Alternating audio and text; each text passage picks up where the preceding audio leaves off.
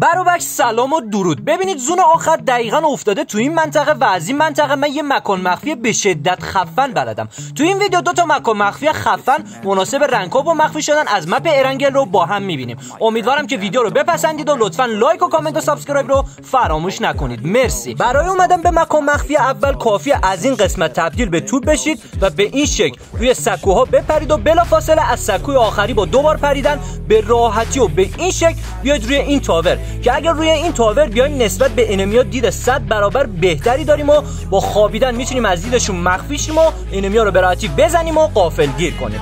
مکان مخفی دوم ما مربوط به این منطقه است. منطقه بین میلتا و میلتا پاور. که اگه zone ای آخر تو این منطقه افتاد این مکان مخفی ما خوراک استفاده کردنه و مثل مکان مخفی اولمون خفنه. ببینید در اصل اینجا ما دو تا مکان مخفی داریم. یکیش همین برجکه که من آموزش اومدن روی این برجک ها رو تو یکی از ویدیوهای قبلی بهتون داده بودم و احتمالا همتون بلد باشید. کسایی هم که بلد نیستن کافیه تبدیل به توپ بشن و از ریل یه مقدار برن جلوتر و روشون رو برگردونن و دوبار بپرن و به راحتی بیان روی tower. خب بریم سراغ مکان مخفی اصلی ما که کافیه دوباره تبدیل به توپ بشید و از روی این ریل یه مقدار بیاید جلوتر و نزدیک این تانکر بشید. و بلا فاصله روتون رو به تانکر کنید و دوبار بپرید و به راحتی بیاید روی این تانکر که این تانکر به خاطر ارتفاع بلندش واقعا دید خفنی به ما میده و به خاطر دایره بودن یا بیضی بودنش هم کاور خیلی خوبی می‌تونیم روش بگیریم. سلاطین امیدوارم ویدیو رو پسندیده باشید. لطفا لایک و کامنت و subscribe رو فراموش نکنید.